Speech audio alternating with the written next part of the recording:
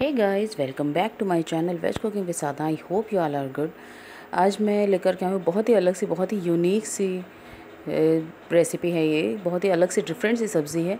तो मैं बना रही हूँ बिना तली बेसन के पकौड़े की सब्ज़ी, जिसमें हम बिल्कुल भी ऑयल का यूज़ नहीं करने वाले हैं। बिना फ्राई किए हुए हम बेसन के पकौड़े बनाएँगे और उसकी सब्ज़ी बनाएँगे। तो आज की रेसिपी अगर आपको पसंद आए तो वीडियो को लाइक शेयर करिएगा। साथ में चैनल को सब्सक्राइब कर लीजिएगा और प्रेस करिएगा बेल आइकन, जिससे आने वाले वीडियोस के अपडेट्स आपको मिलते रहें। तो चलिए, आज की इस मज़ेदार सी रेसिपी को बनाना शुरू करते हैं। तो सबसे पहले मैं स्टार्ट कर रही हूँ इसको मसाले से। तो मैंने इसमें प्याज, लहसुन, हरी मिर्च और धनिया, जो धनिया शीड्स वाले होते हैं ना, उन्हें पीस करके रखा है। और अब मैं इसमें ऐड कर रही हूँ बाकी के मसाले। तो मैं ले रही हूँ एक चम्मच हल्दी पाउडर, एक चम्मच गरम मसाला, एक चम्मच लाल मिर्च पाउडर, कश्मीरी लाल मिर्च है।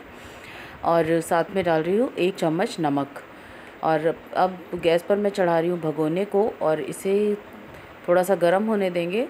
और जैसे भगोना हल्का सा गर्म होता है तो मैं इसमें डाल रही हूँ एक टेबल स्पून मस्टर्ड ऑयल।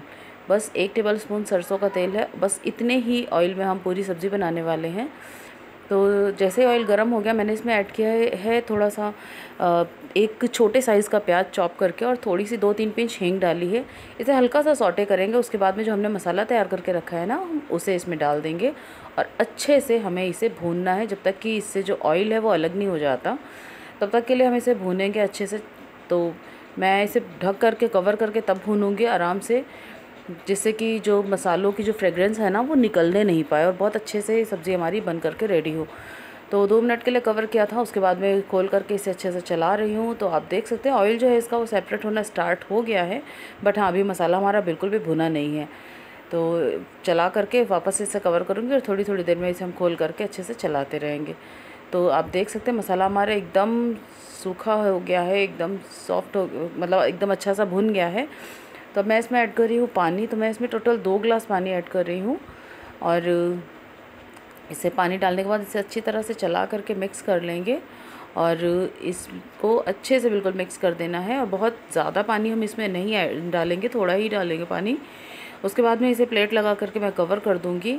और इसमें उबाल आने दूँगी। तो जब तक हमारी ग्रेवी बॉईल हो रही है, तब तक चले हम तैयारी कर लेते हैं पकौड़ों की। तो मैंने लिया है बाउल उसमें मैं डाल रही हूँ तीन चौथाई कप बेसन।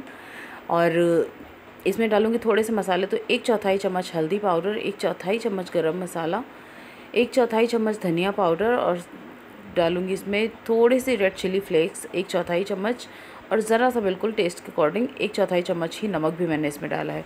उसके बाद में इसमें थोड़ा थोड़ा पानी डाल करके हम एक, इसका एक स्मूथ सा बैटर रेडी करेंगे। हाँ बैटर हमें थोड़ा सा कम गीला बनाना है। ज़्यादा गीला बैटर नहीं रेडी करेंगे हम। जैसा हम पकौड़ों का बैटर बनाते हैं, बस वैसा ही समझिए। बैटर हमें बना करके रेडी कर लेना है। एकदम अच्छे से मैं इसको विस्क करके स्मूथ कर लूँगी। बिल्कुल बढ़िया तरीके से। तो आप देख सकते हैं कि बैटर हमारा बिल्कुल बन करके रेडी हो गया है। मैंने इसे पाँच मिनट तक कंटिन्यूसली स्टिर किया है। और बैटर बिल्कुल रेडी है। इधर हमारी ग्रेवी जो है, उसमें भी उबाल आ चुका है। तो अभी मैं इसे ओपन कर रही हूँ और अब बारी है हमारे पकौड़े बनाने की। तो मैं बना रही हूँ पकौड़े पानी में। जी हाँ बिल्कुल पानी में पकौड़े बनाऊँगी।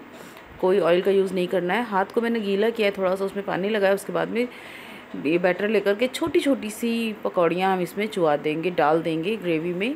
बिल्कुल छोटी छोटी सी पकौड़ियाँ डालनी है। थोड़ी देर में खुद ब खुद फूल करके एकदम डबल हो जाएँगी।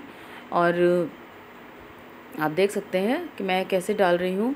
और थोड़ी ही देर में जैसे ही दो मिनट हुआ है उबलते हुए तो ये साइड से पकौड़ियाँ हमारी पानी में ऊपर आने लग गई हैं। और अब मैं आपको चला करके दिखा देती हूँ। ये देखिए, और मैंने सारी की सारी पकौड़ियाँ डाल दी हैं जितना हमने बैटर रेडी किया था। और देखिए, पकौड़ियाँ अभी से फूलने लग गई हैं। इनका साइज़ जो है बड़ा हो गया है थोड़ा सा तो एक बार इसे मैंने अच्छे से मिक्स कर दिया उसके बाद में अभी इसे हम लेड लगा करके कवर करेंगे और 10 मिनट तक हम इसे अच्छे से उबलने देंगे। तो 10 मिनट हो गया है पकते हुए इसे और आप देख सकते हैं ग्रेवी भी हमारी कितनी थिक हो चुकी है और पकौड़े मैं आपको निकाल के दिखाती हूँ। देखिए, बिल्कुल साइज़ में डबल हो चुके हैं फूल करके। तो सब्ज़ी हमारी एकदम अच्छे से कुक हो चुकी है। अब गैस का फ्लेम मैं ऑफ़ कर दूँगी और अब बारी है सर्विंग की। मैं आपको सर्व करके दिखा रही हूँ। तो ये देखिए, है ना, एकदम परफेक्ट एकदम वाव वाली, बहुत ही मज़ेदार, बहुत ही टेस्टी सब्ज़ी लगती है। और पकौड़े भी एकदम सॉफ्ट बनते हैं इसको, ये वाले, जो हम पानी में बनाते हैं। ये बहुत ही मज़ेदार सी सब्ज़ी बनकर के तैयार होती है। इसे आप रोटी, पराठा, चावल, किसी के साथ में भी सर्व करें, बहुत अच्छी लगती है खाने में। और मैं तो इससे, मेरे घर में तो ये सब्ज़ी अक्सर बनती है।